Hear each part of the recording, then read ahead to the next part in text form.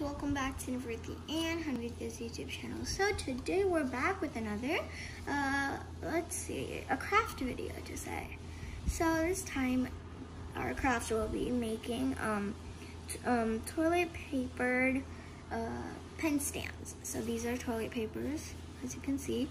So I can't find the fourth one, which is supposed to be blue, but I think it's gonna be in our craft room.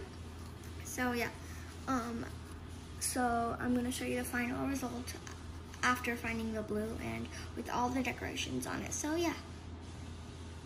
Okay, so we found the blue right over here and you needed cardboard for this if I forgot to tell y'all.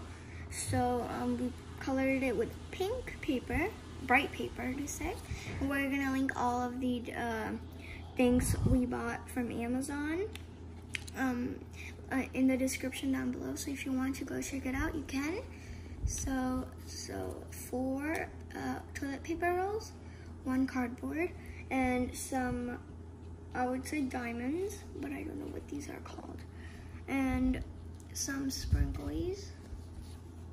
And we took two, uh, we cut some of these by two pieces by two pieces, and we stick, and we stuck them all around in a circle.